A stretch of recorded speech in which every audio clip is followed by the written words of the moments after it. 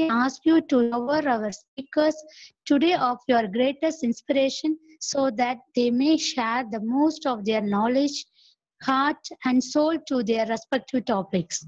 May we also observe the invaluable knowledge, experiences, and put it into practice what we may learn today. We pray that you bless all the participants of today's webinar. Your infinite blessing would mean the success of this seminar. May we be a living witness of your genuine love through the enhancement of the knowledge acquiring through this activity. We ask this in the name of Jesus Christ, our Lord and Savior. Amen.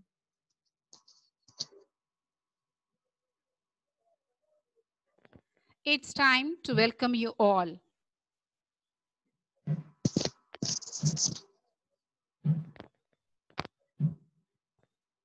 I am extremely happy to welcome you all for the webinar on Crisis of Triage and Universal Remedy COVID-19 A Perspective. I wholeheartedly welcome all the distinguished personalities, Reverend Sister Dr. P.J. Queensley Jayanti, Secretary and Mother Superior, JA College, Dr. Sister S. Esurani, Principal, JA College, and the three resource persons, Dr. Parimala Suresh, Dr. D. Leonard Suresh, and Dr. A. Sri Kenneth. With immense delight, I extend my heartfelt welcome to our dynamic principal, Reverend Sister Dr. S. Esurani, under whose leadership and guidance the college leaps forward towards achievement. It gives me immense pleasure as the webinar is going to be inaugurated by the principal, Reverend Sister Dr. S. A. Surani. Welcome you, sister. My heart brims with joy and love to extend a warm welcome to our resourceful secretary and mother superior, Reverend Sister Dr. P. J. Queensley Jayanti. She is the fountain of inspiration for hard work and piety. She shows keen interest in the development of our college. I'm happy that such a dynamic, versatile personality is going to deliver felicitation to this webinar. Welcome you, sister. It is a great pleasure to welcome such a noted personality, Dr. Parimala Suresh, as our speaker of webinar. She graduated in biotechnology from Loyola Academy, post-graduated in biotechnology from Osmania University, and pursued bachelor's in education from Osmania University. Started career as a research scholar in Tirusha Bio Biotechnology Lab and worked as an assistant professor in Department of Biotechnology, Loyola Academy, Secunderabad have experience of eight years teaching in genetic immunology, medical biotechnology for postgraduate biotechnology students. Have been guiding many scholars in various research projects related to cancer, diabetics, TB, asthma, etc. Published a papers on immunotherapy of asthma and role of genes in the evolution of human brain science. Currently working as a research analyst in the Community Health Center of Tribal Area of West Godavari District of Andhra Pradesh. On behalf of one and all, let me extend a heartfelt welcome to you, Madam. It's my great pleasure to welcome Dr. D. Leonard Suresh, such a noted another personality. Dr. D. Leonard Suresh pursued MBBS from St. John's Medical College, Bangalore worked as civil assistant surgeon at various primary health centers in Karnataka and Andhra Pradesh government. Currently working as medical officer in tribal area at West Godavari district, Andhra Pradesh. Has been into public service in agency area from the past 12 years. His key responsibility is managing inpatients and outpatients of various illness of all grades of severity Performed successfully in rural settings with minimal facilities as well as in highly equipped tertiary hospitals. Trained many paramedical students and organized many training programs. Guided various research scholars in tribal research, especially for anemia and malaria work. Currently an active participant in framing guidelines and executing the pandemic COVID situation at Mandal level, both in administration and handling the patients. He is a nodal officer for the entire Mandal handling the COVID situation. Until now, we have no single positive case in the Mandal. On behalf of one and all, let me happily extend a warm welcome to you, sir. I am glad to welcome Dr. A. Sri respectively and cordially the third resource person of this webinar. He is a doctor in MDS, Master of Dental Surgery, pursued PhD in biotechnology in field of medical. He did MBA in hospital management. He is a professor in CSA of Tyndall College and Madurai Kamaraj University.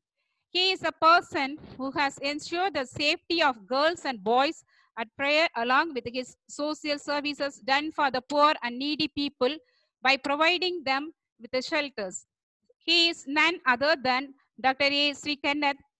The chairman and senior dental surgeon. On behalf of one and all, let me extend a warm welcome to you, sir. With immense joy, I welcome Reverend Father Sebastian Mahimeraj, who brings the three eminent resource persons to this platform. Hearty welcome to you, Father. I am delighted to welcome Mrs. Rani, the organizing secretary, Dr. Sister Josita, HOD, Department of Computer Science, and technical assistant of the Department of Computer Science, who are rendering help sincerely for the smooth functioning of the webinar. With immense pleasure, I welcome all the participants of the seminar. I hope the webinar will be fruitful one to all. Once again, I welcome and wish you a pleasant and fruitful webinar. Now, I welcome our principal to inaugurate the two-day the webinar on COVID-19.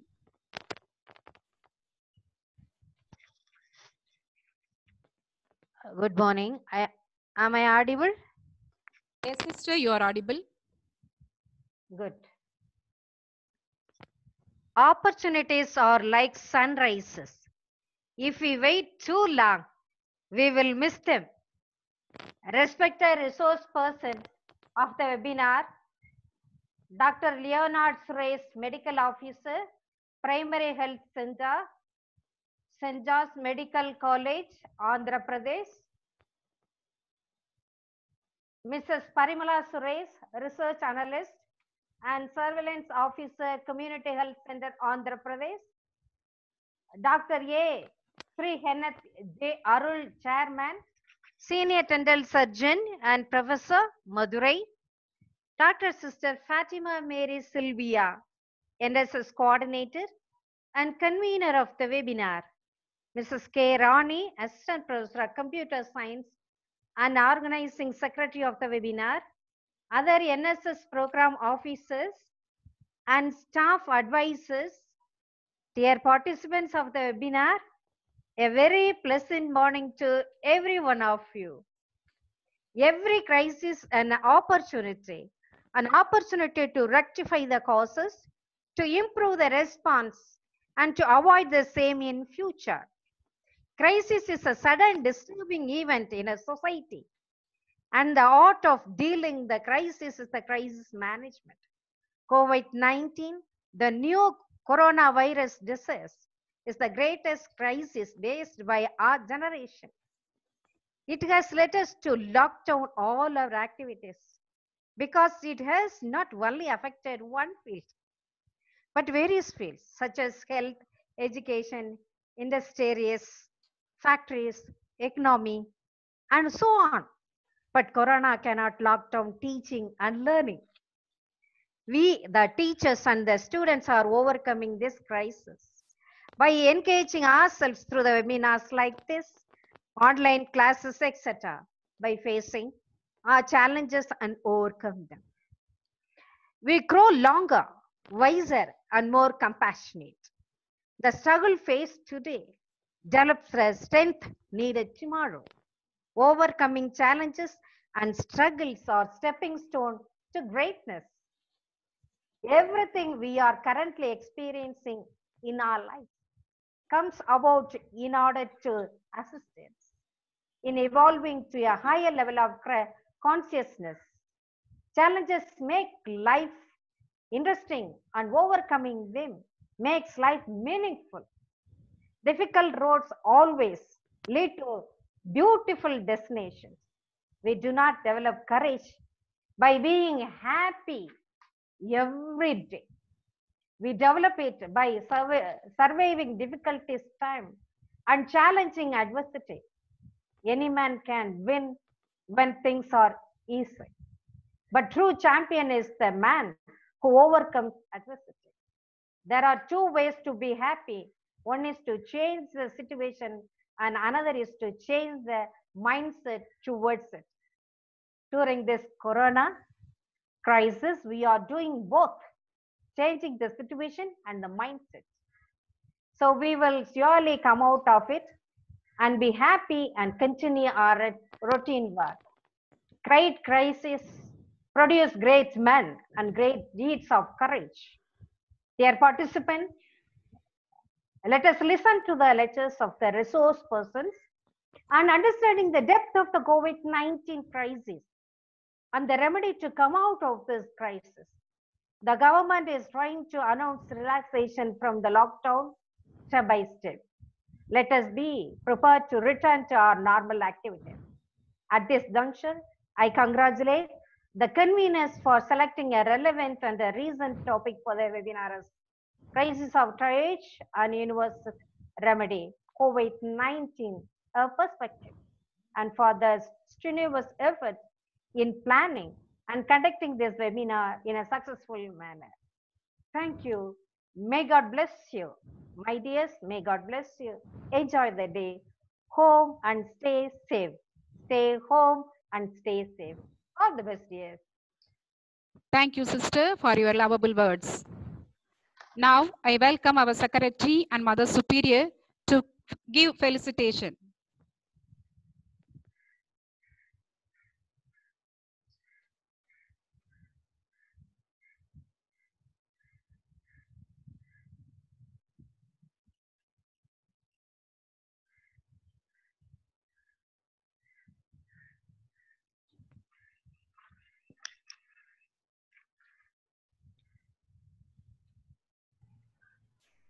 Sylvia? Ah, sister, you are audible, but you are not visible, sister. Okay, let me see. Now it's okay?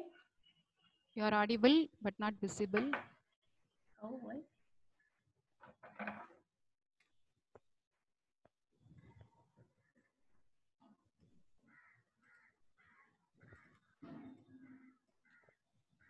Now it's okay? Sister, only audible, sister. Hi, sister. Now you are visible also. Okay. Good morning to all. With great pleasure, I welcome all the participants who are going to participate in this webinar on triage crisis and universal remedy COVID-19. I take this opportunity to congratulate and appreciate Dr. Sister Mary Silva, Sylvia Fatima, the librarian and the convener of this webinar and NSS coordinator, Ms. Rani, Assistant Professor of Computer Science, NSS coordinator, and all other NSS coordinators and NSS officers for their efforts and enthusiasm for organizing this uh, webinar. I thank all the resource persons, Dr. Leonard Suresh, Mrs. Parimala Suresh, and Dr. Sri Kenneth J. Arul for having accepted our invitation and sparing their precious time with us.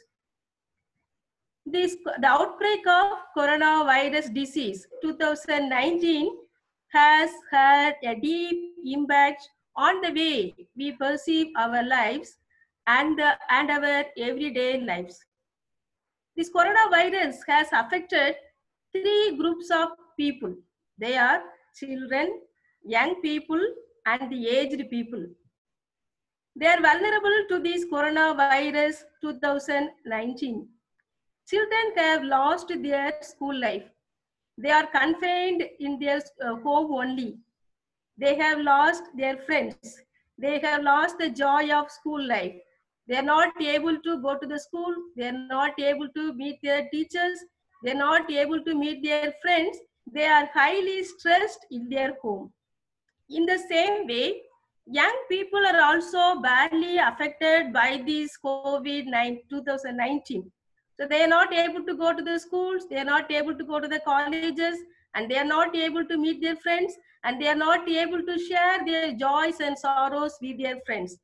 So they cannot share everything over the phone.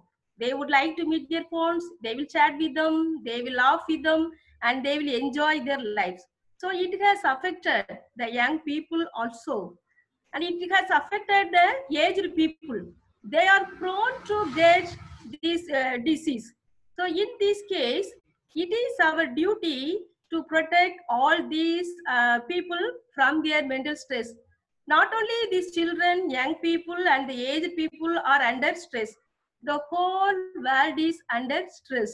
The anxiety, the fear, and the economic crisis, so many things are controlling our life and it creates a tension and anxiety in our life.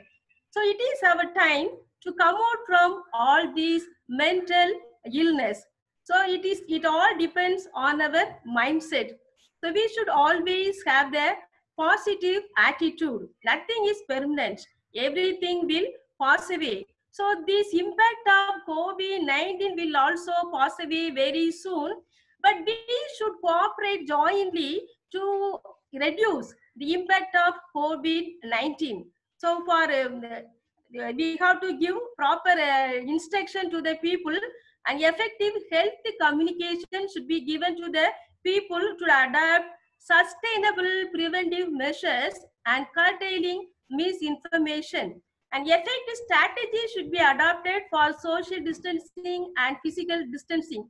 So people should seriously adopt and seriously follow the social distancing to avoid the spreading of COVID 2019. And we should reduce the stigma, the prejudice, the inequalities, and the discrimination. And we people should jointly put our hands, minds, and heart to, uh, to, approve, to uplift the economic condition of our country. There are so many ways to improve the economic uh, condition of our countries. So we need not worry about all the negative impacts of COVID-19. God is with us, He will lead us, and He will give us a bright future. And I hope that these three resource persons will enlighten you on this topic and help us to come out of our mental illness, physical illness, and all sorts of mental stress. Wish you all the best. May God bless you. Thank you.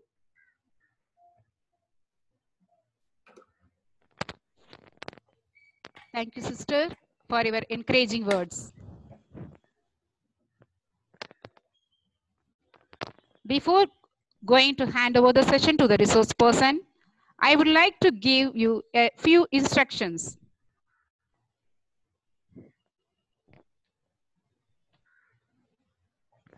To consume time and to avoid audio disturbances in the middle, you are requested to send your queries through chat box only.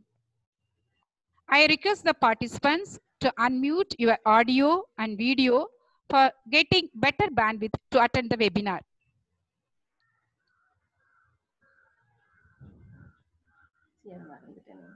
Now, I hand over the session to the three doctors who are going to shower their knowledge on COVID-19.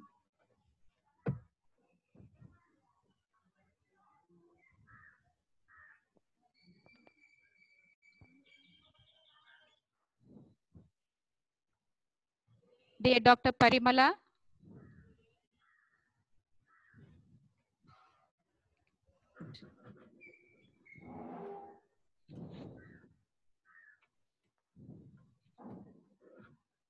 Mute. ah, Hello, sister. yes, yes, doctor. Good afternoon. Uh, can you hear me? Yes. Yes, you are audible. Yes, sister. Thank you, sister, for handovering the session to me. Oh, Is yes. my sister? I'm sharing the screen. Can you Uh, no, my, no, doctor. can you enable it? Yes, we are doing. Share. Share. Share screen. Yes, sister.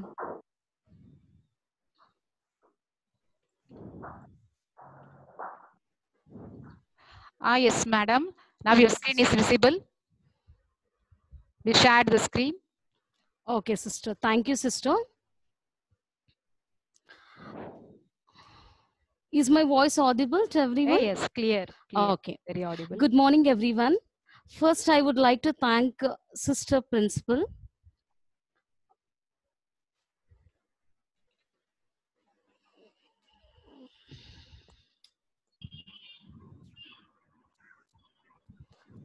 I would like to thank uh, um, Dr. Sister S. J. Jesarani, Principal, and Dr. S. B. J. Queensley Jayanthi, Secretary and uh, Mother Superior of Jayaraj Annapackiam College for Women, for motivating and encouraging the staff to conduct webinars like this. And I also would like to thank Dr. Sister Fatima Mary Sylvia, convener of this program, and Mrs. K. Rani, organizing secretary for the efforts to plan this webinar on Zoom app. And I'm extremely thankful to Reverend Father Dr. Sebastian Mahimaraj for introducing me and providing me this opportunity. And finally, a hearty warm welcome to all the participants. We hope that this session really finds you informative regarding this pandemic issue.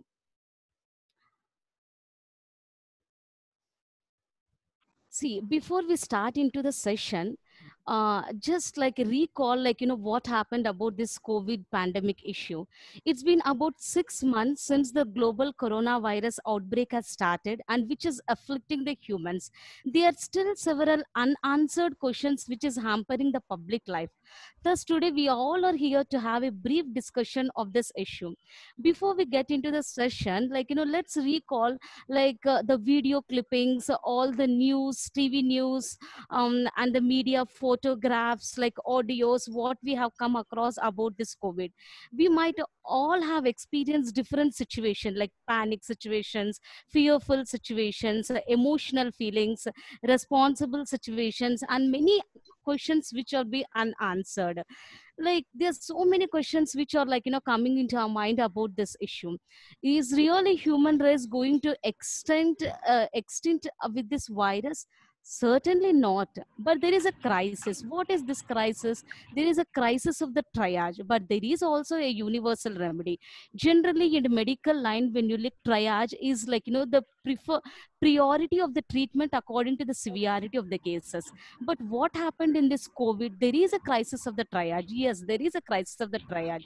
Because initially when you look at the cases like you know they are not able to differentiate which case is severe which case is mild and all. So it is a big disaster. Like do we need like you know our humans do we need like you know such big disaster? Okay in such big disaster occurs like how to handle the situation? We have to be uh, like we should not panic we should not be fearful but we have to be careful. So let's th- start this session with a brief uh, discussion about the epidemiology and what is this coronavirus how it has originated. It um, hope uh, this gives you like you know certain ideas and it will clear some of the some of the unanswered uh, um, questions like you know what is there in your mind. Let's begin the session first when you look into the history of the pandemics uh, as human population is increasing these infections are also increasing. So infections are not new to the humans. Like it's been from the so many eras like you know from the centuries ago. But the outbreak of this covid is it has reached so pandemic that none of the previous infections have reached this much. See you have seen like you know the even though the infection rate is high for this covid but the death rate is like you know less when compared to the other previous infections. So this is the chart which is uh, shared on the screen. You can see like this most of them might have seen in the like uh, sharing of the whatsapp and all. You have so many infections over here. Right now the corona is coming here novel coronavirus. It is this number keeps changing. Uh, this is some 10 days ago the number 4.7 kilo like uh, thousand. And this is the um, original like this is the current situation uh, see when you see this uh, table like you know as of today like in the world why the total confirmed is uh, 6.119 million and india it, it has reached more than 2 lakhs and but the death cases in the whole world is this thousand and whereas in india it is 581 and recovered almost 1 lakh patients have been recovered in india. This rest of them like you know or still like you know the active cases. When you look into the mortality rate the whole world is 7.6 but as in india it is 2.81 percentage. And also the recovery rate recently this is the fourth uh, lockdown what we are facing. After the fourth lockdown certain restrictions have been reduced but still the recovery rate is good in india. Recently like 2 3 days ago it has given. It is 41.6 uh, the recovery rate. And when you see the number of the days what we have taken according to the source of the ministry of the health and family welfare the number of the cases to increase from 100 to 1 lakh the india took 64 days. But whereas the other con- but whereas the other countries like uh, it took like you know little time because maybe like india because there's so many factors like you know because of the lockdown effect uh, or because of indians have so much so much of immunity and also or like um, the weather is like the weather is like favoring us like you know because it is not moist or more of the humidity for the virus to um, replicate itself coming to the next slide like you know first like you know we have to know like how it has originated how it has originated. See it has a different etymology the names coronavirus corona since the symptoms are closer to the pneumonia it is called novel coronavirus. And uh, so but generally we call it as a corona. And the virus is believed who is making this? Okay okay um okay coming to the origin um see when you see like you know we have so many controversies uh, regarding the origin of the virus uh, like it has been uh, uh, like released from the lab like accidentally or it is a bio warfare it has been like you know introduced into the human life. But all those controversies like you know have been proved wrong. There is no like scientific evidence like this is the reason. But as of now all the health experts believed that it is a product of the natural evolution how it has originated this virus. It has an animal origin like from bat pangolin and human root. See this is a bat is a reservoir of many virus. Um, see the bat the virus is called ratg113 and this is the reservoir of this virus. When you have seen like you know the genetic analysis of the database of the current sars-cov-2 virus which is the covid uh, 19 virus and when it has a similarity it has like 88% of the similarity with the dna genome.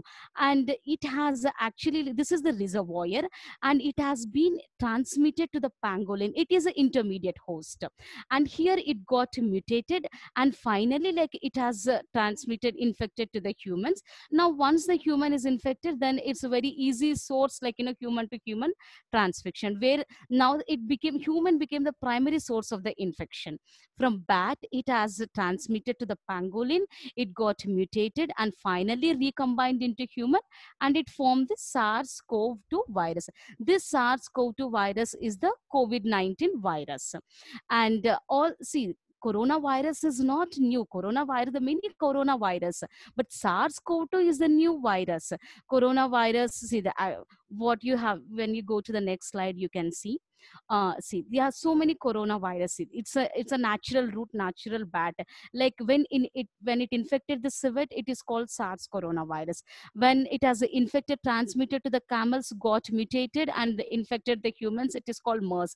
This mers is seen like in 2012 it has been noticed this uh, this infection in saudi arabia. Even the first sars virus again in china in 2002 and the current recent one is 2019 like you know it is seen in wuhan there's a SARS-CoV-2 virus. So coronavirus, it's a large family of the virus. It causes illness in animals and humans.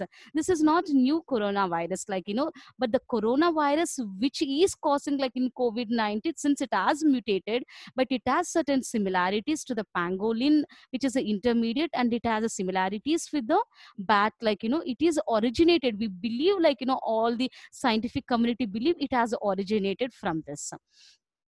And coming to the virology part, what is this exactly? Okay. Then uh, this SARS-CoV virus, like, you know, this is the virion particle. You look into the structure like you can see here and the genome size, it has mainly two parts. One is the genome part, which is RNA, which is like, you know, it is a positive sense single stranded RNA and it has the protein structure also. It has three type, four types of the structural proteins. One is a spike protein, envelope protein, um, nucleocapsid proteins. Um, and all these proteins, like, you know, when you look at these proteins, see only um, spike protein is more responsible, like, you know, for entering this virus into the host cells. This SEM, like you can see the N protein. N protein is holding in the structure. You can see this yellow part. This nuclear capsid protein is holding the RNA and rest of all the protein, spike protein, E protein and M protein, like, you know, these create a nuclear envelope. That is why it is looking like a sun is emitting the rays. The name has originated coronavirus. Out of all, you could see the spikes, like, you know, those spikes are nothing but there's a S protein. And out of all, this spike protein is a protein which is responsible for allowing the virus to attach within the membrane of the host cell. So why only the spike protein? Because it has a affinity. What affinity? It is what it has a affinity. It has a affinity for the ACE2. What is this ACE2? It is angiotensin converting enzyme, which is present on the cells of the host. Uh, so like next we'll go to the next slide you will get more clarity. When it comes to the pathophysiology see in this picture you have a spike protein. This is a sars-cov-2 virus and this virus is entering. This is the host cell. It is entering into the cytoplasm. See this is like lock and key okay? And uh, the key is ju you just assume this is the spikes and you have this has an affinity for ace2 and this is how like you know, it is entering into the cytoplasm of the host cells. And um, only Y spike protein will have will enter into this because it has more affinity for this ACE2. Uh, ACE2 is nothing but is angiotensin converting enzyme which is present on the host cells. Okay, out of all, when you look into the symptoms before we enter into the pathophysiology, generally now by now we will be aware of like you know we have three main symptoms. One is fever, and the other one is shortness of breath, and the other one is dry cough. Okay, why like you know we have all the, this main three symptoms? It affects various organs but out of all it affects lungs or the organs most affected of this covid. Why? Because in lungs when you see the structure like you know this bronchioli like you know which like you know finally projects into the alveoli alveoli has uh, two types of the cells. One is type 1 pneumocytes and the other one is type 2 pneumocytes. Type 2 alveolar cells have more abundant ace2 see which is abundant. Lungs are the organs which are the most affected by covid-19 and this virus access the host cells via enzyme ace2 this ace2 is abundantly present in the lung cells that especially type 2 pneumocytes.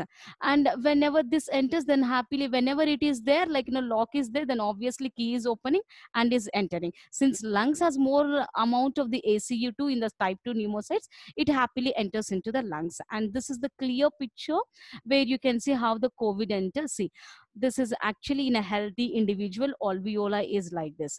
And i as i already mentioned this alveoli it has a two types of the cells. One is type 1 and type 2 and type 2 alveolar cell or the pneumocytes it helps in the exchange of the gases like our oxygen and carbon dioxide how is getting exchanged.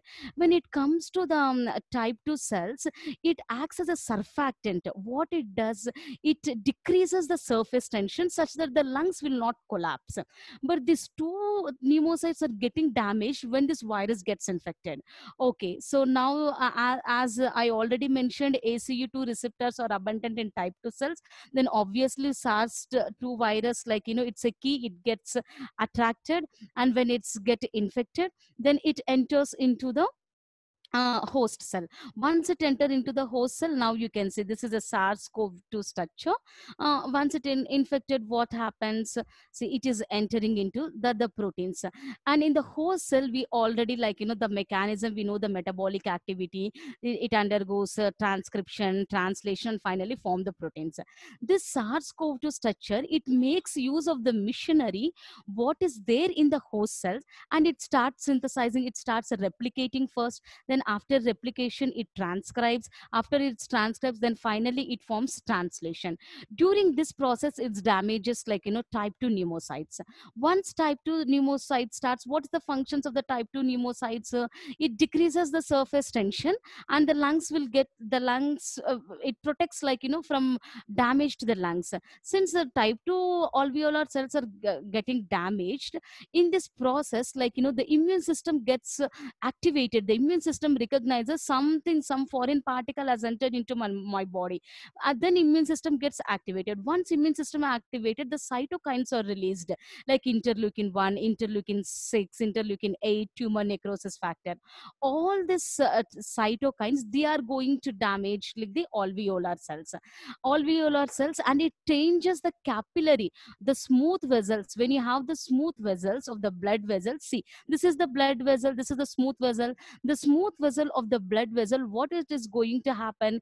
It's getting like you know um uh, it's getting damaged. Once it damaged the endothelial cells of the blood vessels they starts like you know restricting constricting itself. Now you have more gaps or the spaces such that whenever the gaps is there the interstitial fluid whatever it is there it's all attack the alveoli. The more fluid the more fluid the more cells of the type 2 pneumocytes are going more the interstitial fluid is going into the alveoli then it have more accumulated. This accumulation is called um, like you know all this accumulation when it's accumulated it's called sputum is formed. Now what happens? We try to our body try to expel that sputum. That is why you are the reason why you get the dry cough. And during this process like you know cytokines are released. Cytokines also enter into the bloodstream. When they enter into the bloodstream what happens? Like you know they uh, they are passed to the central nervous system. And in the central nervous system the organ that is the hypothalamus which is controlling the temperature. When it controls the temperature like you know this uh, cytokine release um, uh, this uh, um, hypothalamus is the um, temperature control. Then you have certain it releases cytokines released ppe u2 all these are like you know certain factors. Whenever these factors are released the temperature is not controlled and it releases to the uh, high rise in the temperature. And um, and the sputum and uh, d- and how like you know th- there is shortness of breath. Why there is shortness of breath? And whenever this type 2 is getting damaged and type 1 also automatically gets damaged. How? The more i already mentioned the more uh, accumulation of the fluid and it's more accumulated accumulated here type 1 cells also gets damaged. Whenever type 1 cells gets damaged what is the function of type 1 it is gaseous exchange. It is controlling like oxygen and carbon dioxide levels. So then it leads to like decreased amount of the oxygen which is called hypoxemia. So whenever there is a decreased level and it leads to dyspnea dyspnea is no breathing. Like they lead, it leads to we need more demand of the oxygen. Our body that is why it leads to shortness of the breath. This is the pathophysiology of the covid like how it is affecting. If you want you can have a look. This this is actually in the healthy individual. Then once it affected like you know this is happening in the modern. And finally it is into the severe. This is like you know sputum formation. The completely all the cells of the immune system like uh, um, making use of the cell- cellular immunity. I will show this slide. You will have it clear see this is how it is happening in healthy breathing. Oxygen passes through the air sac entering into the blood. But whereas with the covid what is happening um, uh, type 1 pneumocytes are also getting damaged then um, there is hypoxemia condition. That is where there is a less amount of the oxygen. And finally the oxygen cannot reach the blood. They feel shortness of the breath and this slide say all the immune system the immune system is cytokine storm. Cytokine storm means whenever the immune system is recognizing cytokines are released. Most of the cytokines are released. There is a storm like see so many have been released and there will be a cytostorm. Because of this cytokine storm like you know you are getting fever and like uh, here antigen is presenting cellular immunity is taking place humoral immunity is taking place. And finally like all this debris whatever it is formed it forms a consolidation consolidation means like you know this SARS virus debris particles these cytokines are going to damage this SARS virus. Because our immune system has that ability when something is entering it, it wants to fight. Both will fight. One is going to gain and one is going to lose it. So during this process and what all the debris it is left and it is formed it is called consolidation. This consolidation is nothing but sputum formation more and more sputum formation. This is about the pathophysiology of this covid and not only lungs this covid-19 is going to affect. It affects other um, uh, body parts also. See like heart it affects the heart and it affects the blood vessels it affects the kidneys intestines and um, even the brain also. But out of all it affects like you know majorly lungs because lungs has the more ace receptors and this uh, uh, s protein has more affinity for, towards this and coming once it has been infected then what is the role? Like what you have to do? You have to be diagnosed. See they are like two kinds of the patients. Ones are the symptomatic patients where the symptoms are seen then you go for diagnosis. Other one are asymptomatic patient. Symptoms are not seen but they are the carriers. They do also transmit the infection. So how do you diagnose? Like you know generally like these are the samples what you take. You have upper respiratory specimens and lower respiratory. That is nasopharyngeal and oropharyngeal and lower respiratory symptoms sputum endotracheal aspirate and bronchial or alveolar lavage and if you want this all are used lower transpiratory especially for the research purpose. And also apart from that if you're going for the kit methods you use certain additional clinical specimens blood and stool. And in recovered patients they use paired serum. Paired serum means serum before like during the acute phase that is during when you have the infection and after the recovery phase also and coming to the diagnostic test like you know there are various kinds of the test which is available for the covid-19 first viral test and also antibody test. What is this viral test? Like rt-pcr this is real time pcr which makes use of the like reverse transcriptase enzyme and also viral culture test x-ray and ct scan. And when it comes to the antibody test it is a serological test and biofilm array and expert search all these are like you know um, these are the kit methods like you know which is used to test the specific specificity of the antibody. Then this is picture this is like how you can say sample collection and diagnosis. First the specimen collection and it is rna detection and you're detecting. Why you're detecting rna because this covid is like you know this rna is a single stranded rna. And this is a kit method like i will and these are the possible like you know all the test. And making use of electron microscopy also like you know you can check the coronavirus. But electron microscopy all this is for the research person and you have to be like you know uh, careful because of the biosafety concern because it's going to infect. It is a human to human transmission. So uh, like all this are for only research purpose currently even though you have all this possible diagnostic tests but the two major tests like you know what you use is this or the two tests one is a kit method. This is like you know you check the specificity of this antibody. Which antibody? Immunoglobulin m and immunoglobulin g.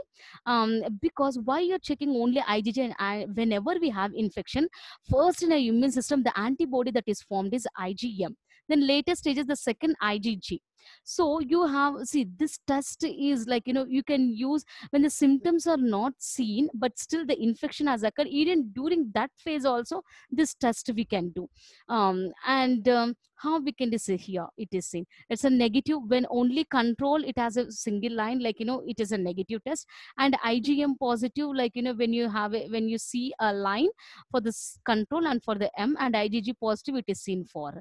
It shows like you know okay first igg you're already we have an infection in our body. So like you know what happens immediately igm antibodies are there. If igm antibodies are there like you know then we get a line. And if, if igg antibody is there also we get a line. If we don't have any we are a negative and we don't have anything like you know we will not get any. If it is a positive we get all the three lines. If it is a negative only control you will get so this is the rapid currently like in india and most of the countries like you know this is the uh, like uh, most popular like you know igg or igm rapid test because within a short time it gives the results. And the sample is like they will take oropharyngeal uh, um, sample only. And coming to the this and this is a confirmation test a real time pcr because in real time like you know it is showing and even uh, it shows the severity of the disease also. How generally like you know what you do here uh, rna is there. Making use of the reverse transcription this rna is getting converted to the cdna. Uh, generally like you know it is of more science like like you know when it is transcription means from dna rna is forming. But here this case the genetic material is rna you are doing reverse. From rna you're forming is dna when you make this dna then what like if when this dna is there whenever you have a rna this covid rna then only like you know specific dna is there. When this dna is there when you put this is a automatic like you know real time computed machine which you put the sample and uh, you make use of the some dyes like you know fluorescent dyes when you use this fluorescent dyes in the system it automatically shows the graphs like it fluorescence whenever it emits fluorescence that means there is a specific dna with specific dna like specificity to the rna it is there. That means you're covid positive. If there is no fluorescence it will not emit then it is a negative these are the two like test what they use. And this is also a specific test but this is the more confirmative test which is reverse uh, real time pcr because in reality in real time making use of the computed you're getting the test. And that too making use of the enzyme reverse transcription. You are doing reverse from generally from dna to rna you have to do. Now you're doing it from rna to dna this is about the diagnosis and so uh, once you diagnose prognosis what is the prognosis out of all this pandemic? Like you know what is the outcome? Like you know what is there? See the severity of the covid-19 virus it is not same in every patient. Every patient is different. And the symptoms see some people like you know they are not diagnosed. They are like asymptomatic but still they have the infection. Some they have like mild cases. 81% of them are mild cases. And um, with few or no symptoms. And uh, 14% of severe cases like they take 3 to 6 weeks to recover. And few cases like you know or fatal cases like the fatal cases it can happen any of this time period like 2 to 8 weeks. And when it comes to children like you know um children is like um, you can see like you know in this graph all this is the colored picture like you know this colored are different different countries. Whomever you seen like you know only the more infection or like you know more susceptibility is seen to 80 plus then it's slowly decreasing 70 to 79 60 to 69 where you see in children it is very few. Only 1% of the cases under 10 uh, years that too who have been contacted to the parents who are covid positive and very less chance for the children. And uh, uh, adults like you know above 50 years the uh, risk of the death is like 0.5 percent and more than 70 years it is more than 8 percent. The uh, um, susceptibility the older people are more susceptible for this because the immune system starts decreasing they become weak. So even like you know when you give vaccination to them vaccination is like this which phenomenon like you're giving like it's an active immunity but it's uh, when you're giving like a immunity uh, it starts like you know it starts your, your immune system also should respond it. But whereas like you know as the children's respond but the elder people responding is different. So that is why like you know older people are more susceptible like you know to this coronavirus. And also pregnant woman is also higher. Still research is going on like you know how like you know what is the reason? Is it passed to the mother passes to the fetus and all? It's still like you know under research. And according to the national institute of the commission of the china and they have also through the research they have proved like when it compared to men had a death rate of 2.8 percent while women had a death rate of 1.7 percent. So men are more susceptible to the death according to this data and but still research also it is under investigation like research has to be done to further prove. So nothing men has nothing to be worried about this. Mm, and uh, coming to the other conditions also um you, you see like they are the normal people and also like you know you have a comorbidity people. Like it is more prone again to the comorbidity hypertension diabetes cardiovascular. This uh, graph shows clearly. See the cardiovascular have 10.5 percent they are more susceptible and cancer 5.6 percent. Whereas like you know others like you know it is very nil uh, um, all the comorbidity symptoms like you know are high susceptible for this covid. But whereas like you know when you are healthy when your immune system is working properly you have a very less chance of like you know infecting with these viruses conditions with taking proper precautions. And also the availability of medical resources and the socio-economics of the region also. Like it depends on country to country. It also affect the morta- mortality rate. And um, according to the survey and according to the research also smokers are 1.4 times more likely to have severe symptoms. Why smokers? Like you know because uh, uh, it affects like the nicotine more of the lungs and it has a relation to the alveoli cells. Since it is majorly affecting like you know to the alveoli pneumocytes and all smokers are 1.4 more times likely to have the symptoms when compared to the non-smokers. And it when you see the pollution also according to the number of studies air pollution also uh, associated with this risk factors. And according to the three scientific reviews which has been done and it has been known obesity also contributes to increased risk. Obesity when you become obese like you know that means you are already like you know something is hampering you. So it's like it, it will affect your immune system obviously then you are more susceptible to this covid. And also there is a poor prognosis the outcome of the disease it's very poor like you know for the obesity people and we'll move to the next slide. And yes and uh, what uh, what is the recovery rate of this coronavirus? See like uh, scientists and researchers they're constantly like you know tackling this uh, all the recovery rate. But uh, the overall covid recovery rate is between uh, 97% and 99.7% this early estimate still this is an ongoing process. There is as of now there is no end to covid until and unless we hope for some vaccine or like we get a herd immunity completely. So uh, till now whatever according to the data we are estimating that the covid-19 recovery rate is between 97 and 99.75% and you might have it doubt it's going once we get infected again it's going to infect it uh, reinfection. It's like you know can the coronavirus twice?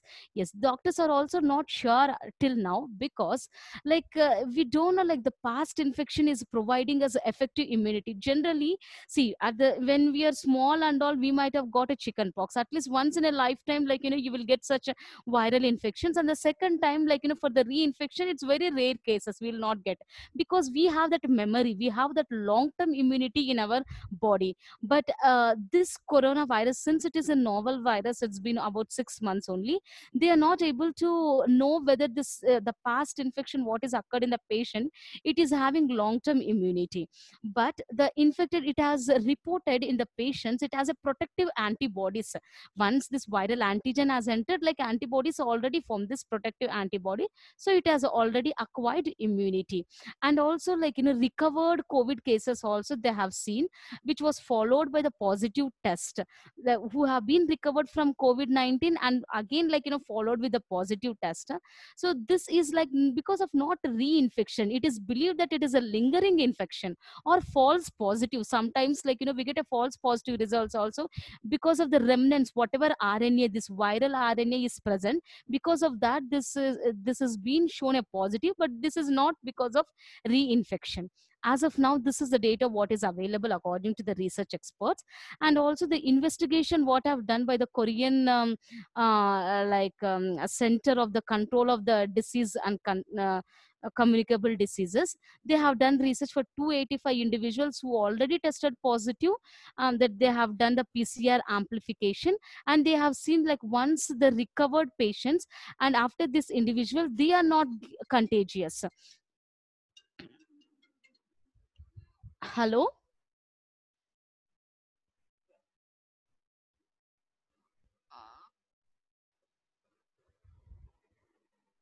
hello uh, sister am i audible hello Yes, am i audible to uh, yes, ma'am. okay okay fine um, I'll just continue. According to this research, what happened, like they have taken the recovered patient sample and they have tested, and it, it is seen there is no reinfection and it is not contagious.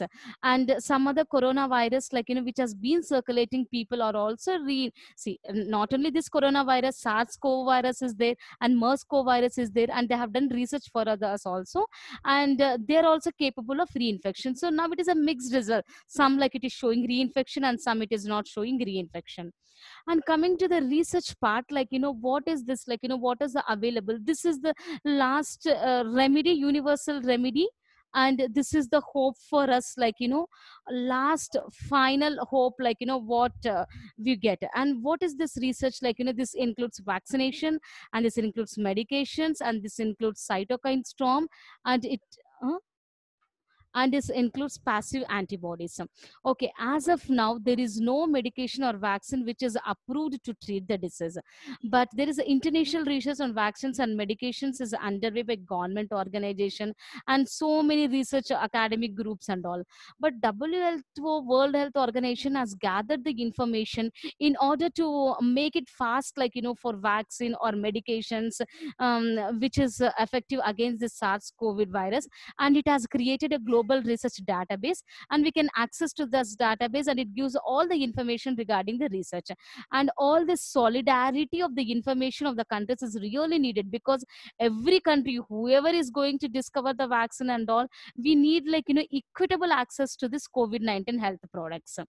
So coming to the um, vaccine, um till now there is no approved vaccine. There's so many news like you know in the media vaccine is going to come within a month and all. This this this is not a confirmed news. This is like you know there is no till now like you know who or any other organization international organizations have completed clinical trials have completed clinical trials but uh, like there are multiple efforts like you know which is taking place. More than 90 vaccines are in progress. And um, the who also has given a statement that this is, will become available in not less than 18 months. The minimum time it takes is at least like you know one year to 18 months. And these are the like you know types of the vaccines what you can do virus vaccines nucleic acid vaccines protein vaccines and all. Before that like you know there are many pathways also like you give live vaccines inactivated vaccines. Um and um, uh, and when it comes to the challenging of this virus like you know why this vaccine is getting failed? Because there's so many reasons like you know we we can ensure the vaccine safety and we can provide like you know long term protection and older people also it has to work out. So keeping all into this like you know there have been like you know research is going place. Hope we will get the vaccine as early as and uh, recently like oxford vaccine failed to prevent coronavirus. Uh, they have tested in monkeys but it is protecting against pneumonia pneumonia but not coronavirus. See and this is like you know industrial trials out of all this uh, more private institutes are more involved in this vaccine uh, race. And what is the impact? Um, when you look this impact of the covid-19 like you know it has disturbed most political social economic religious and financial structures. And finally when it comes to the economy like you see like most of the world top economies also were at the verge of the collapse. And finally like you know this is the data like 3.3 million americans applied for the unemployment and also 6.6 million people started searching for the jobs.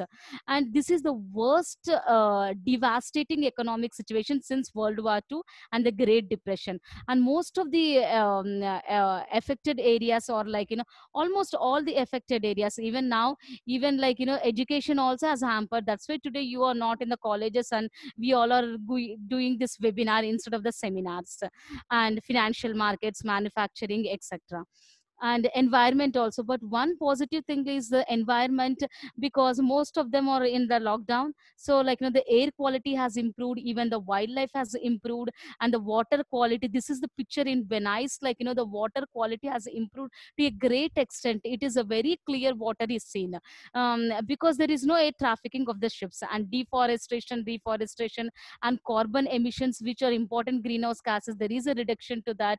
And finally weather forecast also. You look into this picture this is the before and this is after after lockdown. So there is a great impact of this covid on most of the um, uh, situations like education polity and culture and and there is a link between this coronavirus nutrition and immune system. There is no food as of now like you know if you eat this food this will uh, erase like you know corona this will remove the coronavirus from a system. It is not like this is all like you know only the news like you know advertisements and all. As of now like you know once like you know you are healthy you are less susceptible like you know to get the infection.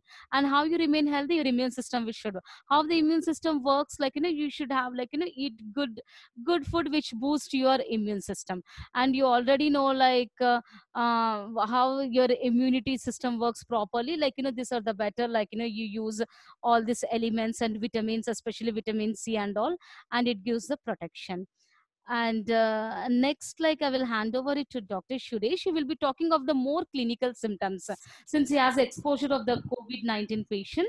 And um, so he will deal what are the symptoms uh, and how you handle the symptoms and what are the different types of the patients. And I will, again, will get back to the um, uh,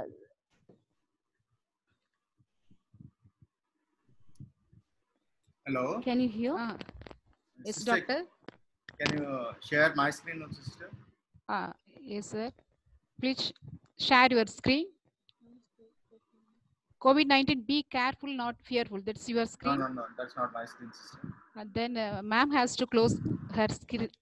Okay, okay, sister. I'll close my screen.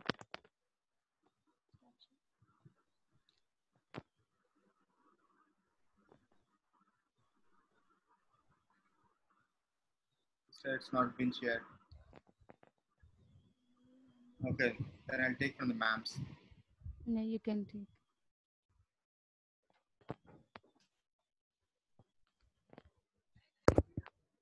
Hmm?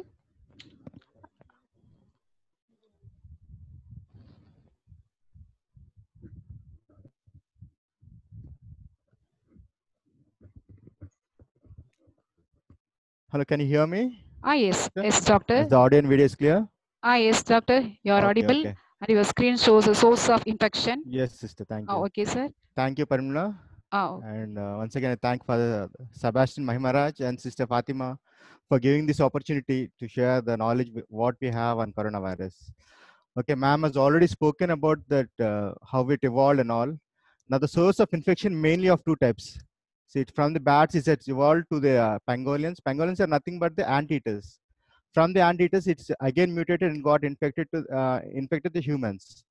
So now the primary source of infections are the humans. There the humans are two types like uh, who are infected and other one is asymptomatic carriers though they have the virus the, they don't they don't show any symptoms. So these are called asymptomatic persons. Now you can see on the picture here there's infected host and a susceptible host. Okay when a infected host or a person coughs or sneezes the respiratory droplets travel at a distance of uh, six feet like around uh, two meters and if a susceptible host comes in within this distance and doesn't maintain any precautions, he is highly susceptible to the uh, getting the infection. So, like modes of transmission, there are three types of transmission mostly. It's respiratory droplets, airborne, and fecal oral route. Okay, respiratory droplets is the main concern what we have right now. Okay, when a person coughs, he coughs with like uh, using his hands, covering his hands, and the, uh, when he coughs, he covering his hands, the virus particles uh, infected droplets gets on his hand and when he shakes his hand or when the particles touches the surface on a touches the different parts of the surfaces and susceptible host comes shake his hands or touches the surfaces where the virus particles are there and he touches these mucus secretions. He will get infected. This is how the mode of transmission to the respiratory droplets there. The second one is airborne airborne transmission. This is also the primary concern as of now because uh, you can see now as a lockdown is uh, not much effective like earlier people have been traveling like uh, there's no social distancing people been traveling they're not using any masks nothing like that. So when a person coughs when an infected person coughs or sneezes the particle stays in the air at least for 3 hours. And if a normal person without precautions travels to that area he has high chance of getting infected. So this is uh, this is also bec becoming a big concern for the doctors now to control the coronavirus. And the third one is the fecal oral route. The fecal oral route you know as because of the improper sanitation improper personal hygiene you get infected through the fecal oral route. Especially in the apartments where they don't maintain the proper uh, pipeline system or the drainage system the leakages they get infected. The water pipeline also get infected the water sources get infected. And that's how the uh, source of infection uh, through the fecal oral route. There's also one more uh, uh, transmission route that is transplantal uh, transplacental route which is not yet confirmed but but as of now there were two cases but not yet confirmed that the transplacental route uh, recently we had a uh, pregnant uh, antenatal mother who is positive has been delivered by cesarean section but the mother, uh, baby is safe. Baby is not diagnosed with the coronavirus. So uh, the transplant route should be yet to be confirmed yet. Okay, this is the mode of transmission. This is then about the one second. Now coming to that, uh, who are at a high risk.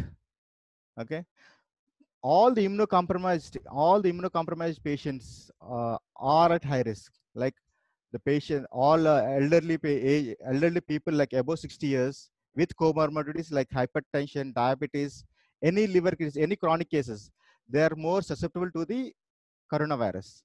Okay, all old age above 60 years who doesn't uh, who, uh, above 60 years with comorbidities are highly susceptible for the infection and the uh, less than 60 years who have liver disease kidney disease or uh, any chronic disease of patients taking uh, medicines for cancers. All these are all immunocompromised patients. Coming to the pregnant ladies also pregnant ladies are all immunocompromised state.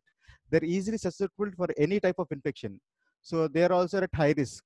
These three categories comes on the high risk. Now coming to the symptoms the incubation period for uh, coronavirus is 2 to 14 days. What is the incubation period? Incubation period is from the time of the entry of the virus into the body and it shows the first symptom like fever. Maybe it can be a fever or can be cough or shortness of breath. The time period is which has been taken this is called the incubation period. So for the coronavirus it's around uh, 2 to 14 days and an average of 5 days.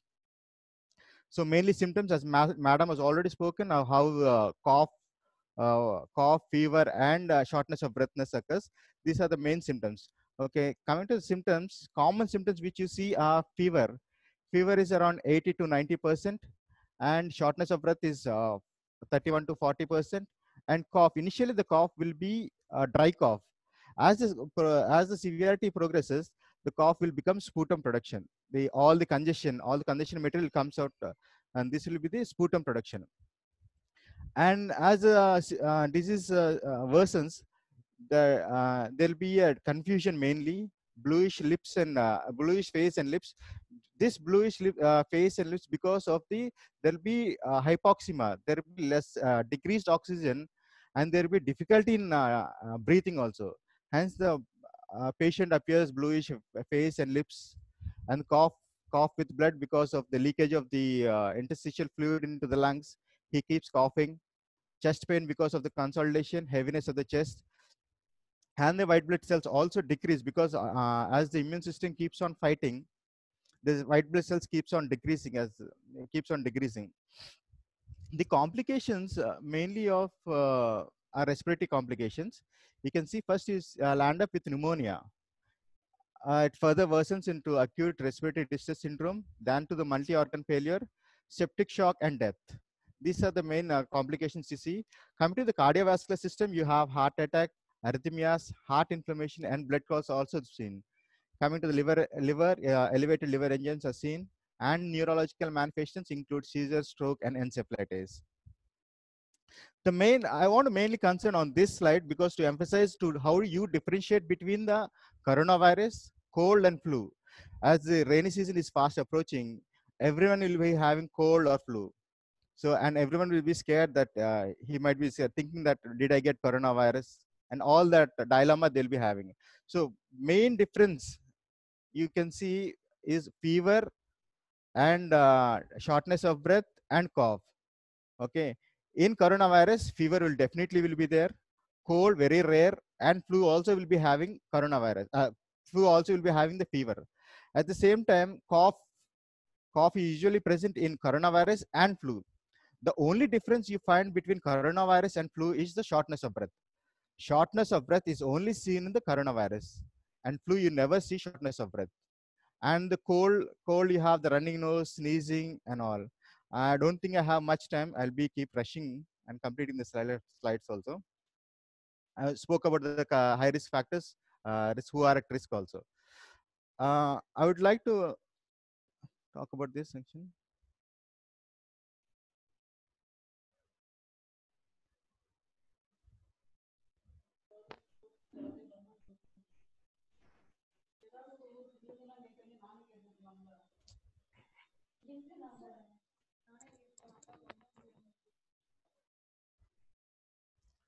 See now, who should get tested?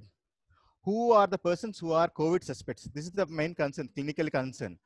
Okay, any person with acute respiratory illness. Acute respiratory illness is how it's defined as fever with any of the following cough or shortness of breath. This is acute respiratory person. Not that all acute respiratory person should get tested.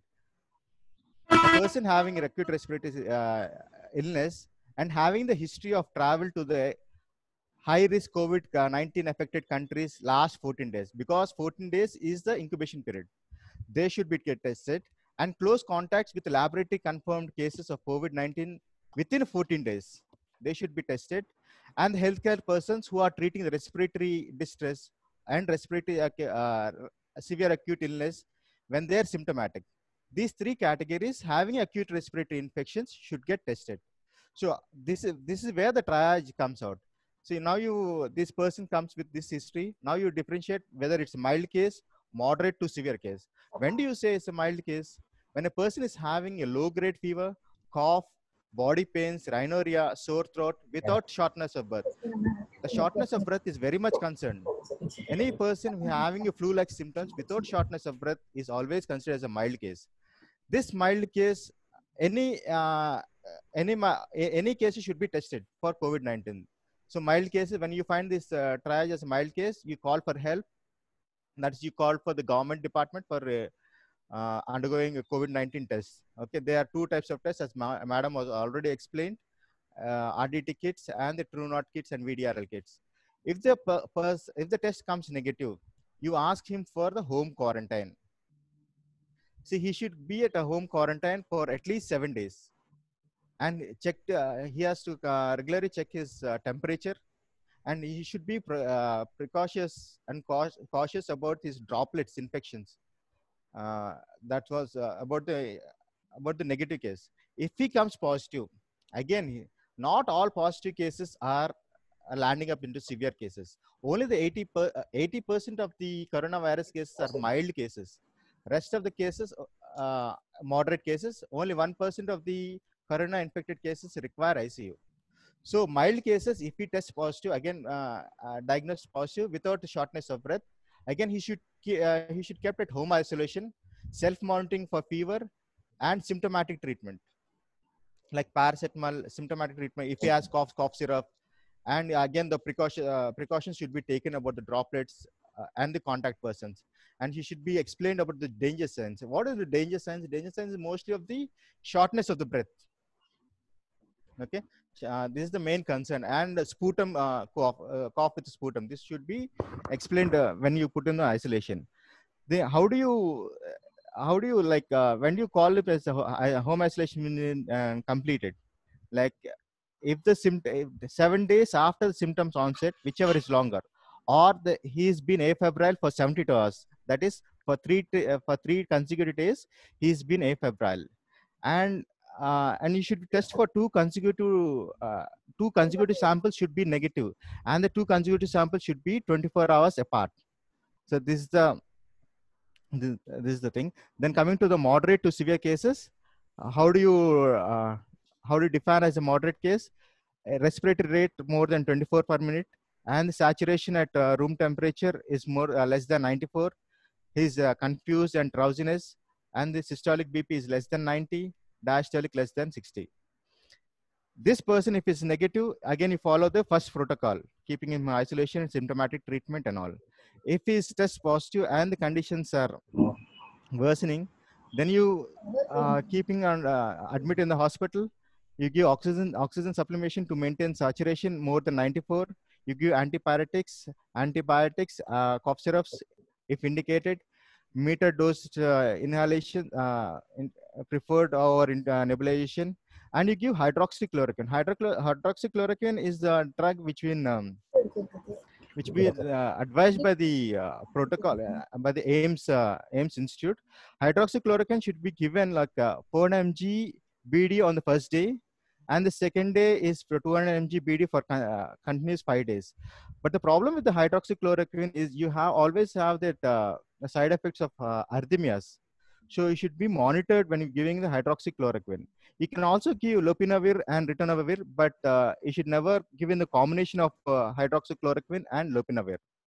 See, corticosteroids are avoided in these cases because the corticosteroids uh, de- uh, decrease the immune system. So corticosteroids are never given uh, given in these cases. If the uh, symptoms worsen, you always shift him to the ICU. ICU, ICU is management is a different scenario as of now What is actually happening is uh, when a po- uh, when a positive case is admitted in the hospital, there. Just a second. இந்த உங்க இதுல காட்டுறேன் sir நீங்க என்ன பண்றீங்க இல்ல மாட்டேன். இருக்கீங்க சொன்னீங்க அதுல இருக்கீங்க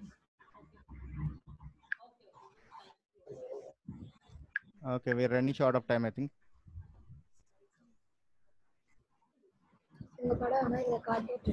Okay, I told you about the medication hydroxychloroquine. Uh, US has come up with uh, uh, remdesivir. Remdesivir is a drug is used in Ebola virus. Okay, this is the drug which is in Ebola virus and now been your trial also, and symptomatic treatment already has spoken about. And autopsy findings has been shown that different blood uh, blood clots are found in different parts of the body. Hence, they started giving the uh, anticoagulant therapy with low molecular weight heparin the PP should be always been aware when taking the treatment. And these are mechanical ventilation. See, about information technology, uh, IT has been providing a good support for the in controlling the co- coronavirus. Okay, when you call uh, someone, there's always that uh, ringtone calling, uh, telling about the coronavirus and all. India has also come up with Aarogya Setu app, which uh, shows that any person with infected person nearby you at what distance and all. This is all we have. Uh, then others all like artificial intelligence, self-monitoring robots have been used in different countries to uh, reduce the transmission rate also. Uh, this, I think uh, this will be enough. I think. Uh, thank you, sister. I think I'll hand over to Dr. Kenneth. Hello, sister. Can you hear me? Ah ah sister video தெரியுதா என் video face தெரியுதா Doctor, Hello. Sister என் face தெரியுதா face தெரியுதா Dr. Suresh, thank you. Now we hand over the session to the Dr. Kenneth. Shall sister N we? Face தெரியுதா video Dr. Kenneth, your video is not. You are not visible, Doctor. Dr. Ma'am Kenneth, S Yes, ma'am. Visible or not? Not, not. You are not visible. Not, not visible. Maybe, ma'am, I will. Your screen. Uh, you are uh, sharing your screen, I think. Ma'am, somebody else is. Sir, somebody else. You cannot start screen screen while other participant is sharing. They have to disconnect now, ma'am. Now your your face is seeing. Seen, ma'am. Yes, yes. Ma'am, the other person has to disconnect now. You cannot start the stream share while other participant is sharing. I'm getting this message, ma'am. You cannot start stream share while the other participant is sharing. So only they have disconnect now, ma'am. Ma'am, ma'am, am I audible? Yes, you are audible, Doctor. Ma'am, I sharing, ma'am, that uh, PPT. Shall I start?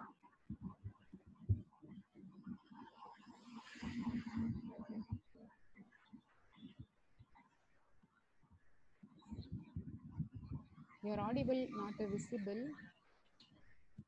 Ma'am, uh, shall I start, ma'am? Okay, okay, doctor. But uh, My- my PPT is- visible. Your screen is not visible. Screen is not visible. Dr. Parimala, could you close your screen?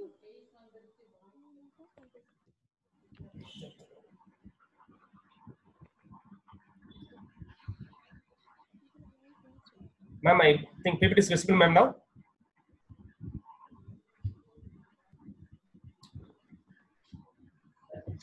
No, you, you are not visible, doctor.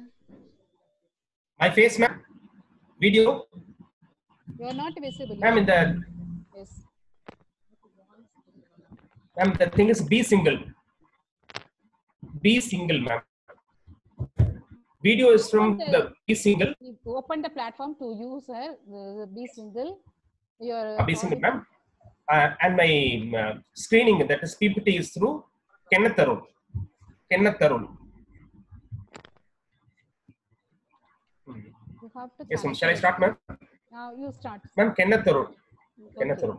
Uh, ma'am, the PPT is seen, PowerPoint is seen. No, your screen is not visible, doctor.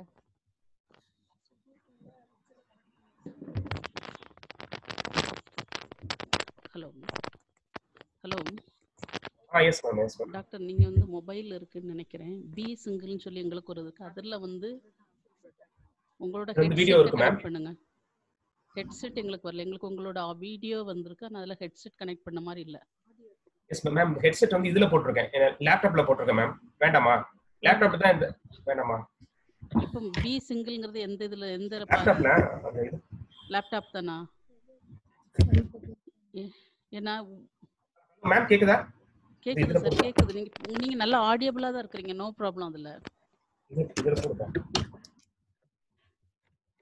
அது நம்ம Yes, ma'am. ma'am. Um, saying good afternoon. Uh, I'm Dr. Kenneth.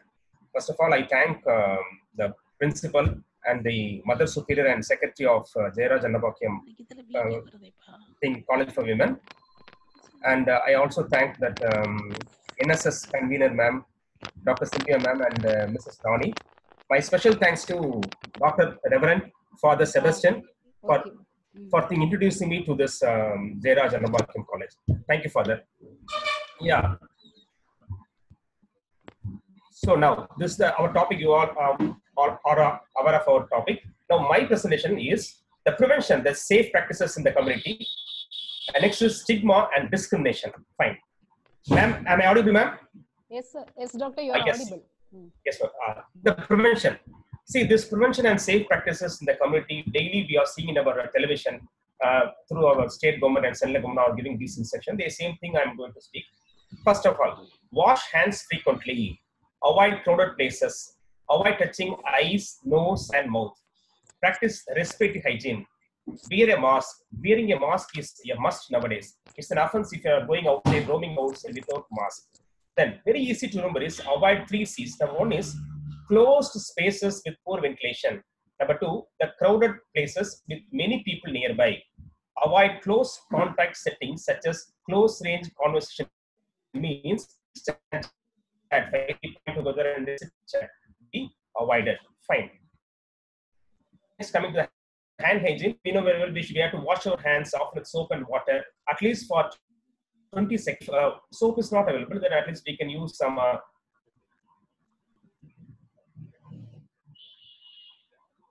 sanit- sanitizers are available nowadays, whether we can wash our hands. Fine. Do not. We are not supposed to touch our eyes, nose, or mouth with unwashed hands. Fine. Then even if you are touching some surface like door knobs, doorbells, it is wise to glove. We're starting from our home and wear a glove, and when coming back to home, we can we can discard the glove.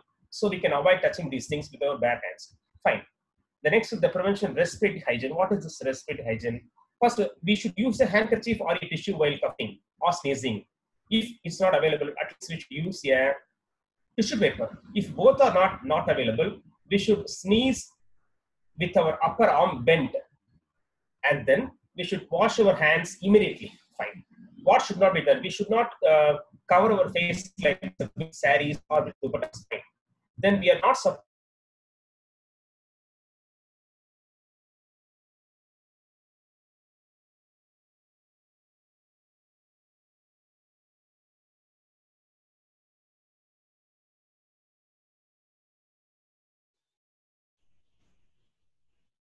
to Dr. Kenneth, you are not audible. do not hold any events where people have to gather, like marriage or anything. Next, do not go to crowded places like markets or shopping malls anywhere. Do not use public transport. Fine. Next, uh, risk factors. Who are all at the risk? The older adults are highly they are risky, risky people. So older adult people are very well. They should be they should be protected at home. Unless be has heart disease, diabetes, lung disease, kidney, or cancer medication. They are comorbidity, comorbid. They are so much prone to this particular uh, viral infection. Then, then pregnant women. Actually, we don't have more studies on this pregnancy and the relation between pregnancy and COVID. But anyway, it is better to take care of the pregnant women also. Fine. Use of mask. Mask, wearing mask is a must nowadays. If you're not wearing mask and roaming outside, it's an offense.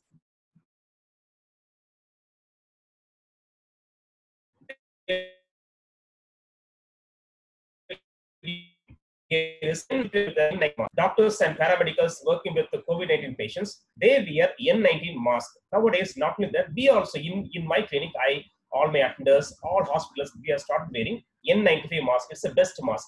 N95 mask. Next, if this is not available, at least the normal surgical and medical mask is available in the blue or green color. That can be worn. Normal mask, surgical or medical mask. Even if these masks are not available, at least the cloth mask. Every street nowadays we are seeing every shop that normal cloth mask are available. So at least we have to wear this normal cloth mask. We are not supposed to roam outside without any mask. Fine, thank you.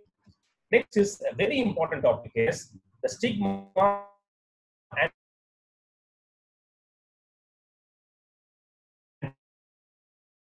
discrimination. Because. We are encouraging patients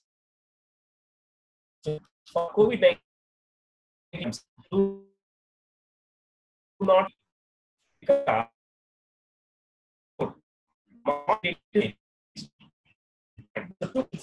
COVID 19. Is COVID 19 Dr. Kenneth, your voice is scrambling. We could not understand what you're saying.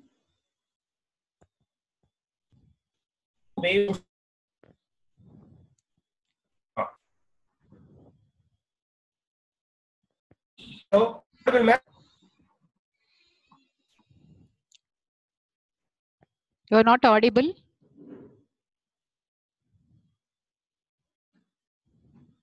Hello. Ah, yes, ma'am. Ah, yes, yes. Now you Ah, yes, proceed. Uh, yes, ma'am. yes. Actually, ma'am, stigma in an outbreak, in any outbreak means people are labeled and discriminated. For example, they are treated separately. They experience loss of status because they have a link with the disease. So, why COVID 19 is causing stigma? Because it is a new disease. Still, many things are to be discovered, many things are unknown. Number two, afraid of unknown. All are afraid of unknown things. Number three, there are a lot of rumors and fake news spreading in social media. So, these are the main reasons for stigma, social stigma. Fine.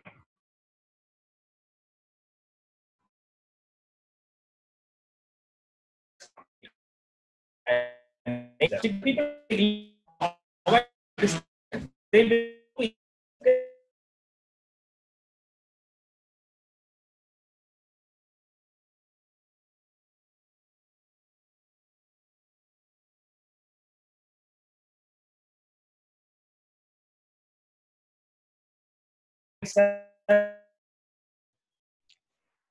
Doctor, you're not audible. Your voice is scrambling and now completely you are not audible. Ma'am, hello. Hello, ma'am. Hello? Ah, yes, yes. Ah, yes, ma'am. Hmm. So even this stigma will discourage them from adapting healthy behaviors. They will not follow any normal healthy behaviors also because of the stigma. Okay, fine. Solidarity, not stigma, fights the spread of COVID-19. Fine. Now, how to address this social stigma? This is very important. How to address this social stigma? The words matter. What we speak, what we speak we can talk about the new disease. We can talk about the people who have this COVID-19. We can also talk about the people who are being treated. We can also talk about who are recovering from this COVID-19. And also finally, we can even speak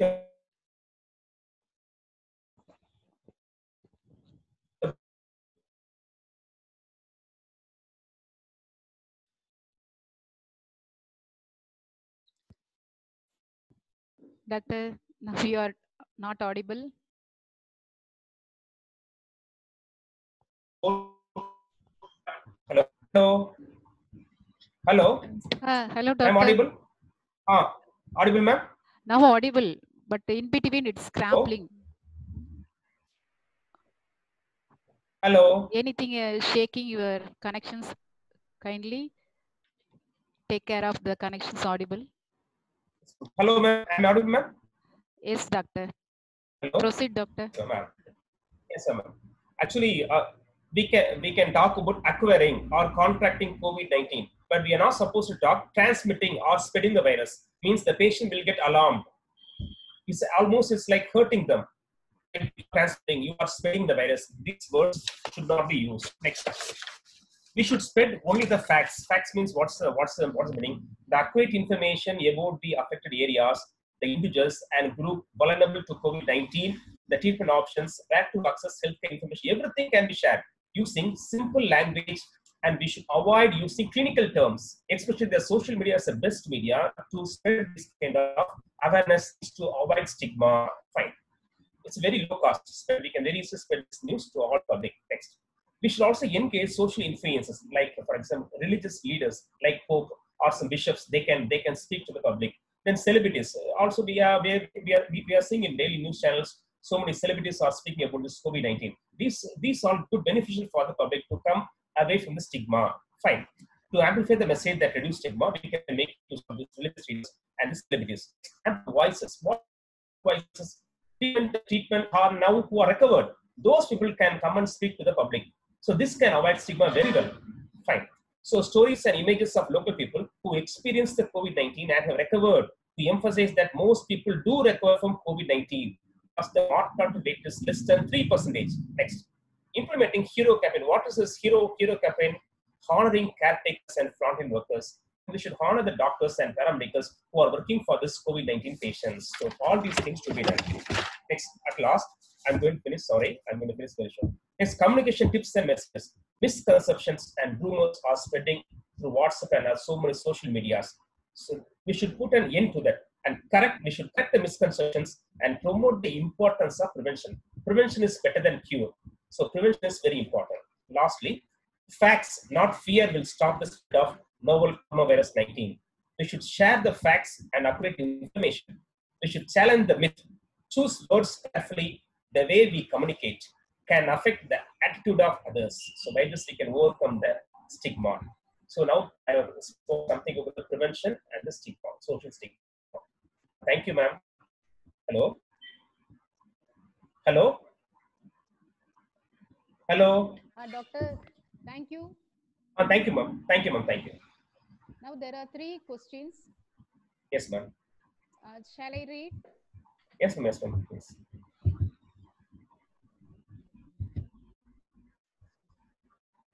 First question from one of our participants. Doctor, Ah, yes, ma'am. Hear my voice? Ah, yes, ma'am. Uh, we know the symptoms and the effects, but why the medical world has failed in finding proper anti-vaccine for COVID-19? Ma'am, the world is trying. Not only uh, yes, yes, yes, a single country. So many countries in the world they are they are trying for vaccine. But today, this morning, ma'am, I read in the newspaper that Russia has almost completed uh, finding a vaccine and it has tried the trial in uh, some military person. This morning in the newspaper, I saw Russia has almost finished and they are uh, started the trial among the military military persons. Another one thing, ma'am, one has to keep in mind. Finding the correct vaccine is not a very easy task. Cannot be completed with, within a year or within few months. It takes a lot of time. It has lot. It has to undergo lot of trials, so trials. And finally, after finishing all those trials only, it will be released to the public. So we have to wait. But very soon we'll, we'll get vaccine. Not a single country, not a single laboratory. So many laboratories, so many countries all over the world are trying for vaccine. And this morning, this morning in the newspaper, I read that Russia has almost finished the trials and they have started with human trials. Am I audible, ma'am? Yes, sir. Yes, Hello? sir. Audible, sir. Uh, ma'am, so this morning the news is Russia has almost completed every trials and it has entered into the human trials. So it takes time for vaccine. It's not a single day, one day, two day, or within a few months. It's, it has undergo a lot of trials. Understood? Yes, ma'am. Uh, yes, ma'am. Am I clear, ma'am? Hello? Ma'am, am I clear? Hello? சொல்லுங்க sir ma'am கேக்குதா yes sir yes sir you are audible ma'am அதான் வேக்சின்ங்கிறது ma'am it's not single day ஒரு நாள்ல ஒரு மாசத்துல கண்டுபிடிக்க முடியாது it take so many months so many years but now. Yes ma'am now almost doctor is also willing to answer, sir. Yes Nandapuram. Ma'am yes ma'am. Doctor, uh, you can proceed. Nandapuram, doctor. Yes, yes, uh, sister. Like you know, this question is like you know why the medical uh, world has failed um, to discover the vaccine. See, actually, first we should know the reason. Like you know, what is this vaccine? Vaccine is the same whether it is a live form, like or inactivated form. We are giving it to the patient, such that like you know when you enter into your body, you already have a remember this infection is already there, and it starts immediately producing antibodies and kill that virus but you see like you know the structure when you want to produce a vaccine right from the scratch of the virus you should know its three dimensional structure and most of the details you should know. But as of now we already have the information about the sars virus mers virus. We have certain information about the virus but the structure of the virus is so cunning that it don't have a specific structure for um, it keeps changing it keeps mutating. That's the main reason why you we know for HIV virus or for other all the viral infections still today the whole scientific community is not able to uh, discover a vaccine or a proper medication. This is the main reason. Because of the drugs or like you know the structure is very important. The viral structure is such a way we don't have a specific structure. This keeps mutating mutating. That's why today like you know we are not able to. And why it is taking so much time? Like you know we are still in the process like you know it's doing. Already this oxford university has tried but it is not effective uh, like for coronavirus but it is it has tried in monkeys but it is effective against pneumonia and uh, is it clear like you know whoever the posed the question hello Yes, ma'am. uh, okay, and sister, one more question. Like you know, some Rohini has asked. Um, this antibiotic test is the confirmative test to the COVID nineteen. Hello, Yes, ma'am. can I answer to that question? Okay, you can proceed, ma'am. No problem. Okay, okay. The other one. Uh, see, this is not antibiotic. Antibiotic is a like you know medicine which kills like you know bacteria. This is a viral infection. You don't have like an antiviral like you know how you have an antibiotic. You have only certain drugs which reduces the symptoms like antiviral agents. Like how there is like you know to kill the bacteria, antibiotic is there. Like to kill the virus, like you know we don't have an antiviral agents those are like only to subside the symptoms and moreover the confirmative test for the covid-19 is there are many possibility of the test. With that we have only out of all the most popular the most usable test or like you know two tests what i have already mentioned that is a kit method and the other one is a rt-pcr that in kit method we are testing the specificity of the antibody. Which antibody we are checking? We are checking igm and igg antibody. What are those antibodies? If you are infecting with the viral agent this is with covid virus this is an antigen. And in your body whenever something foreign is entering in order to kill that antibodies are formed. That which antibodies? Igm igm and igg that is why you're checking the specificity of the test. Is it clear Yes, ma'am. Yes. okay okay sister any other queries like you know you can ask sister One more question is here, ma'am. yes sir. That same girl has asked this one. also. yes yes yes sir. i'll just hand over to doctor he will clear Mm. Fecal route, Fecal route is spread on the coronavirus. Coronavirus infected human virus traveled on the respiratory organs through the fecal route. This respiratory organs, uh, this question, but fecal route is in spread on the coronavirus. Coronavirus infected human virus traveled on the respiratory organs to the fecal route. See, as madam has explained in the pathophysiology, the coronavirus infecting the type 2 pneumocytes get infect blood vessels also. It enters into the blood and enters to the brain and different parts of the body. So this has been found in autopsy. When they done the autopsy, they found this virus in different parts of the body, be it in uh, liver, be it in kidney, be in GI tract, and the heart also. So from the GI tract to the fecal oral route, it gets passed in the stools with a proper, without proper sanitation or proper hygiene. They get again infected. This is how the fecal route spread is there in that uh, coronavirus. Any other doubts, madam? I think you cleared all.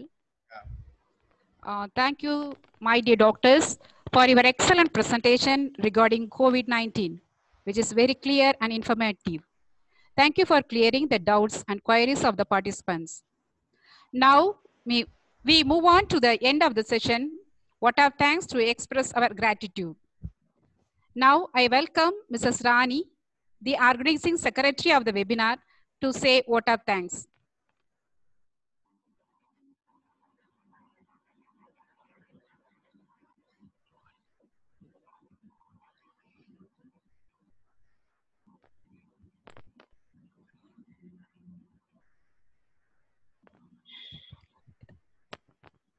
Rani Miss?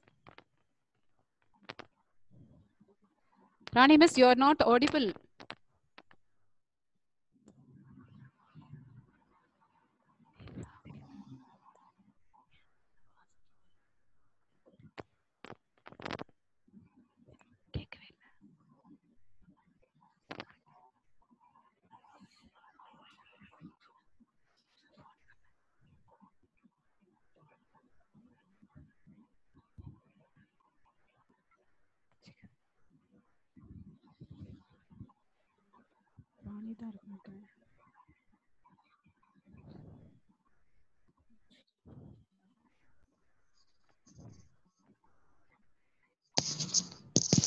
Sister, I'm audible, sister.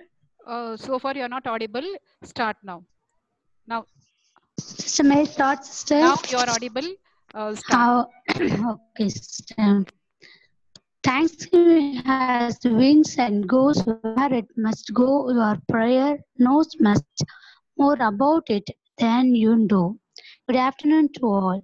It's my privilege to have been asked to propose a vote of thanks on this occasion. First and foremost, we thank Lord Almighty who has designed and refreshed our soul with sweet stream of blessings. His unfailing love keeps us march forward toward better tomorrow. I, on behalf of the management and the NSS, let me call it fraternity of our here to, together. And on my own behalf, I extend a very hearty thanks to all speakers for gracing your important work and sharing with us your findings and opinions today. I must mention our deep sense of appreciation for Mrs. Parimala Suresh, Research Analyst and Surveillance Officer, Community Health Center, Andhra Pradesh, for her interesting speech. Thank you, Madam, for your excellent presentation. The way you explained the cause of, causes of coronavirus is highly informative and it's helped us to know the types of virus and how it is affecting the immune system, symptoms of the virus and vaccines really useful to us. Thank you, madam. It's my great privilege to thank today's speaker, Dr. D. Leonard Suresh, Medical Officer, Andhra Pradesh, for his effort towards COVID-19. What are the modes of transmission of coronavirus and how it has affected the weak people and complication of the virus, the difference between coronavirus and flu, everything your presentation is highly informative. It's really useful, doctor. Thank you, doctor. We are grateful to Dr. A. Sri Ginnath for demonstrating his valuable thoughts about Corona-19. The way in which he explained his subject was extraordinary. Thank you, Doctor. I would like to express my heartfelt thanks to our principal for her excellent message about Corona is not cannot stop the learning. Thank you, sister, for your message and smiling blessings. We have been fortunate enough to have our beloved Mother Superior and Secretary, Dr. Sister P.J. Quinsley Jayanti. We thank her for her constant support, blessing, and encouragement for being with us today. It's great pleasure to thank Father Dr. Sebastian Mahimiraj to take effort to introduce such a wonderful speakers to us for this webinar. Thank you, Father, for your timely help. I would like to ta- take this opportunity to place and record our hearty thanks to NSS coordinator and convener of this webinar, Dr. Sister Fatima Mary Sylvia, for the perfect logistics support and guidance. Thank you, sister. I also extend my thanks to all our NSS staff and participants for this enormous cooperation during this webinar. I would like to thank people who work behind the scene to make this event happen, especially Dr. Sister Shanda Mary Josita, HOD of HOD Department of Computer Science to her technical support and also our technician Mr. Purusothaman and our webmaster Bhuvaneshwari for their tireless support. Thank you one and all. Thank you. Once again, I thank you. Thank you, all. sister. Uh, thank you. Be happy and make others happy. We end the session. Thank you.